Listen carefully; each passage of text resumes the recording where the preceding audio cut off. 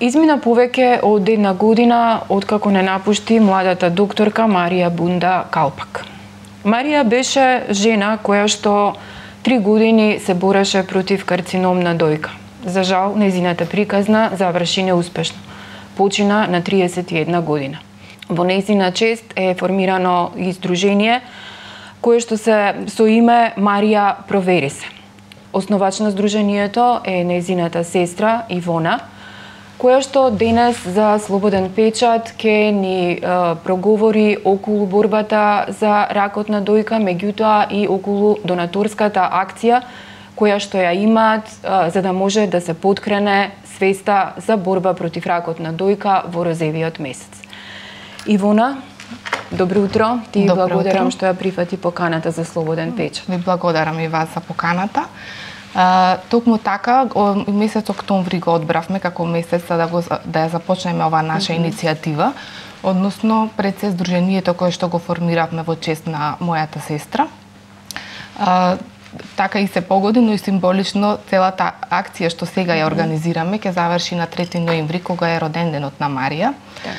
А, инаку целата иницијатива потекна од тоа дека Марија уште кога ја доби диагнозата, а, несебично ја сподели својата приказна со останатите, се со цел да ја подигне свесноста кај другите жени за оваа болест и да поттикне што повеќе да жените се грижат за своето здравје и да да одат на а, чести прегледи.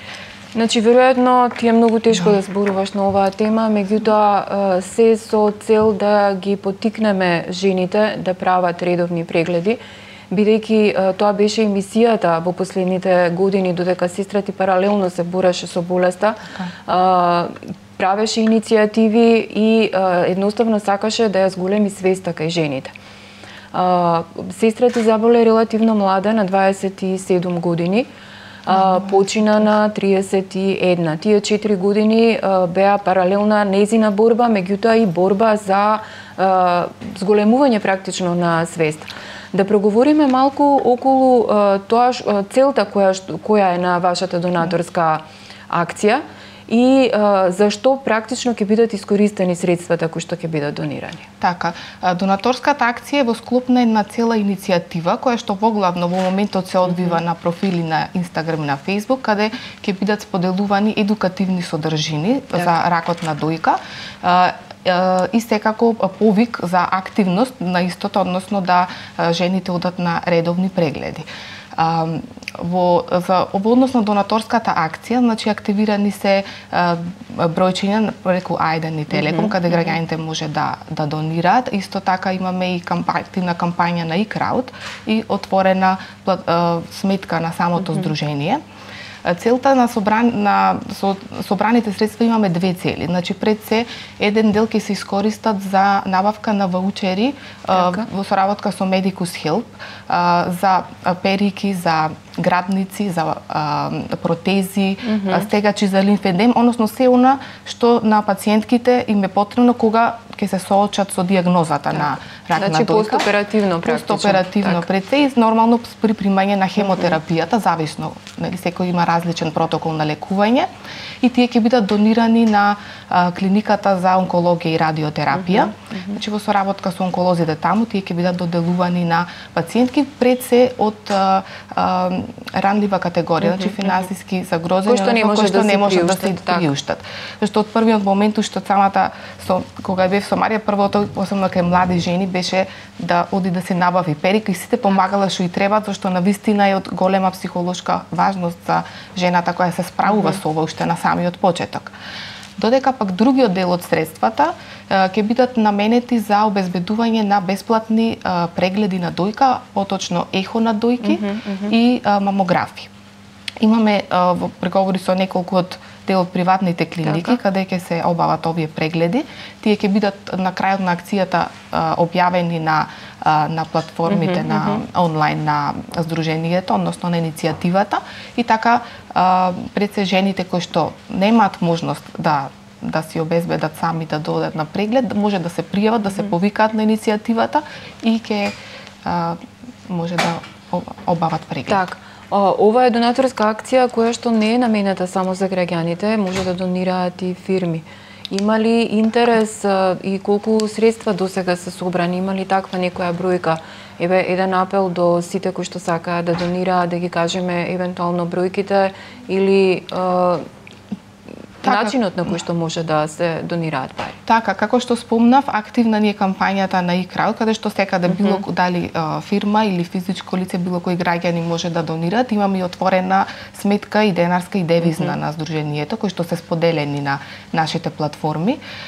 Еве на интересна акција, односно иницијатива, mm -hmm. што е за особена пофалба. Вчера бе во поликлиниката Јане Сандански, така. каде што ме поканија да а, а, да ги на некој начин да ми ги да ги врачат средствата кои што ги собрале во една мини акција која што организирале mm -hmm. во склоп на нивната институција а, со цел на обележување на а, октомври месец за борба против рак на дојка каде делеле мали пакетчиња на сите пациентки кои што се прегледувале, било нејхо или мамографија, а со изработка на мали панделки, како што ја носам сега, так. И со некој доброволен прилог на вработените таму, собрале средства и ги донира токму во нашата фондација, да наречам, кампања, што е особен поздрав. За случај, да. така. А, околу статистиката, колку жени кај нас а, одат редовно на преглед, имаме ли таква статистика од вашето здружение? Колку можат да си приуштат, бидејќи ние генерално како држава имаме некаква национална стратегија за борба против карцином на дојка, меѓутоа колку е таа успешна, еве некоја информација од вашето здружение? Да, значи бројките за во однос на тоа прво за колку е честа како болест ракот. На вистина можам да кажам и поразителна. За жал кај жените во Македонија е предвод број еден да, на заболување, да. И по смртност мислам и, дека е број. Да, кај жените е по смртност, да. а општо како вид на карцином е втора поред mm -hmm. на во во земјата.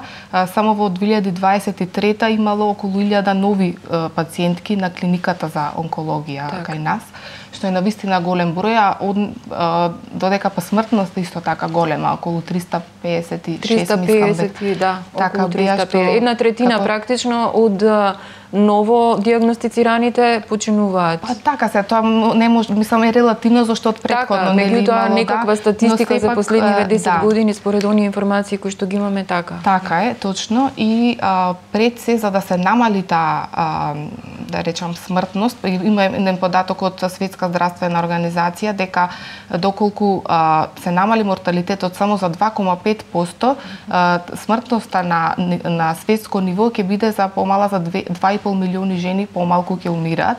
Е сега прашањето е како до помал морталитет, mm -hmm. односно помала смртност.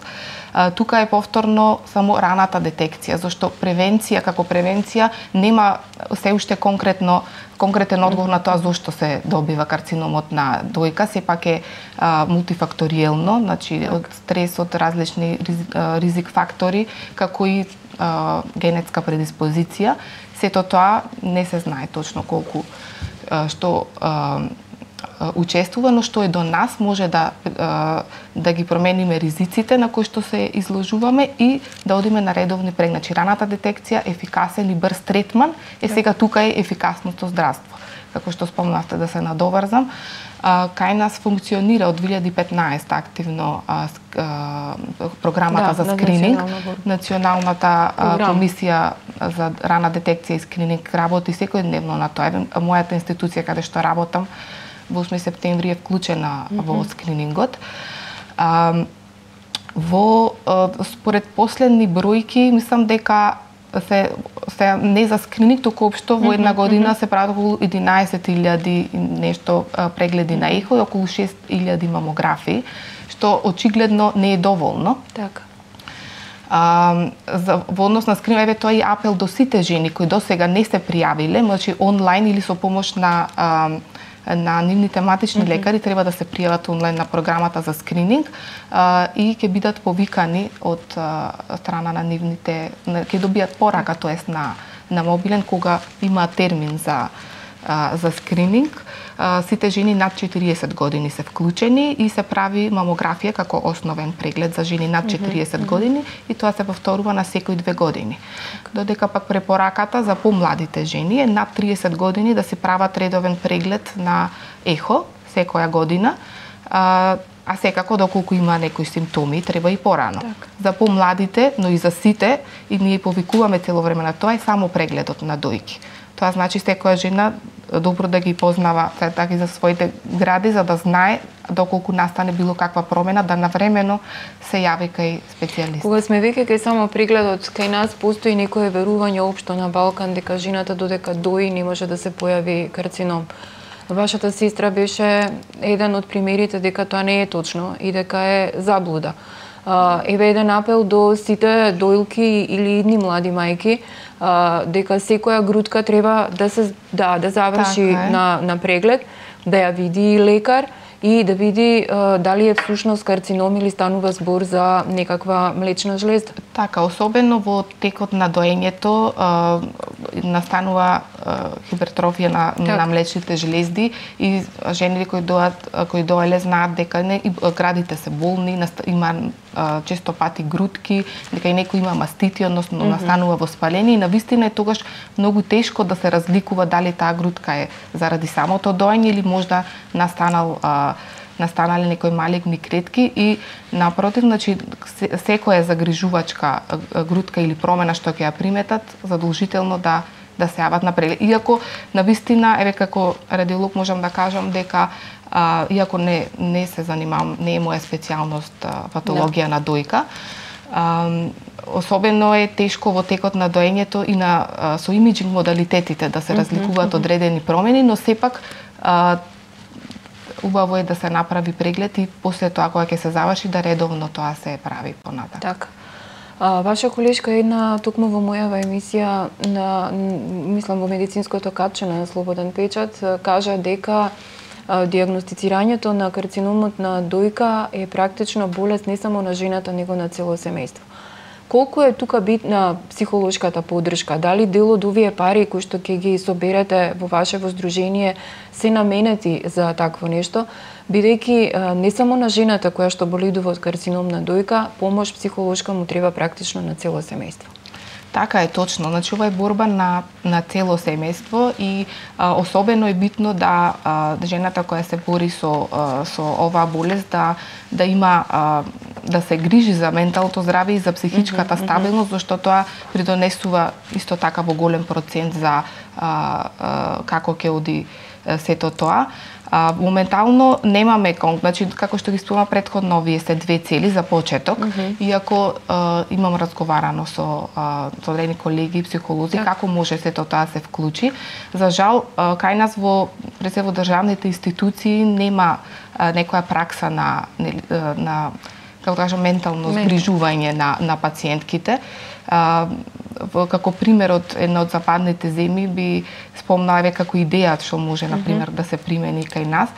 Постојат сестри специализирани за за дојка, односно breast care nurses mm -hmm. ги викаат, кои што се обучени специјално за uh, во однос на тоа како да ги советуваат пациентките во однос на физичката активност, што да. треба да прават, uh, во однос на исхраната и секако психолошка поддршка во секој момент да може да се обратат, значи што на вистина им значи на и само значи на секоја пациентка која што се соочува со ова.